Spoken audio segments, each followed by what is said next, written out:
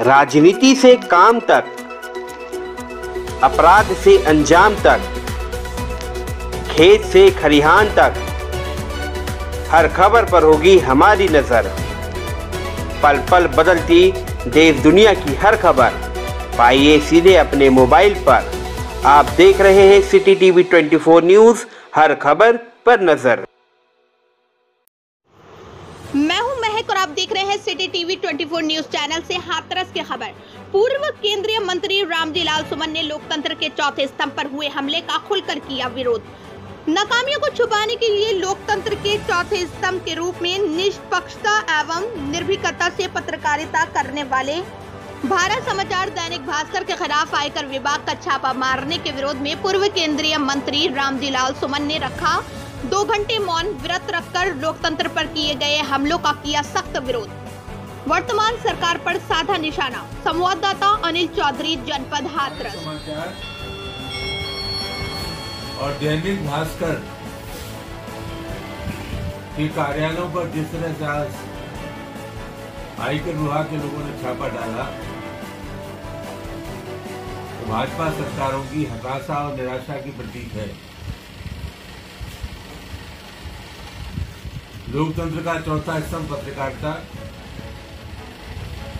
उनके आदर्श और मूल्यों को बचाने का जो काम पत्रकार कर रहे हैं, उनको हतोत्साहित करने का, उनको परेशान करने का, उनको अपमानित करने का, व्यवस्थित रूप से काम योगी की और मोदी की सरकार कर रही है। और ये सरकार ये चाहती है कि सच्चाई लोगों के सामने आए न सच को दिखाया जाए, न सच को लिखा जाए, मामला चाहे कोविड का हो, चाहे हादस की घटना हो, चाहे और दुरुस्त समस्याएँ रही हो, सरकार के जो काम करने का तौर तरीका है, उसको बेनकाब करने का काम जो पत्रकार कर रहे हैं या जो चैनल्स कर रहे हैं, या जो समाचार पत्र कर रहे हैं, उनको परेशान करने का काम ये सरकारें कर रही हैं।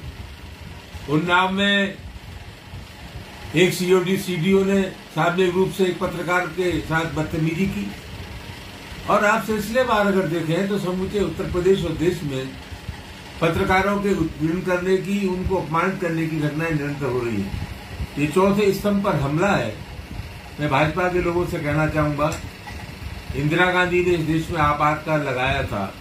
इतिहास साक्षी है, उसके परिणाम इंदिरा जी को भुगतने पड़े थे। ये घोषित आपातकाल है समाचार पत्रों के साथ, मीडिया के साथ आप जो छेड़छाड़ और बदतमीजी कर रहे हैं, मीडिया की आवाज़ को दबाया नहीं जा सकता। और मैं बहुत ब्रह्मणता के साथ कहना चाहूँगा कि लोकतंत्र को जो बचाने का काम कर रहे हैं, जो सच्चाई को लाने का काम कर रहे हैं, पूरा देश और समाज उनके साथ खड़ा हुआ है।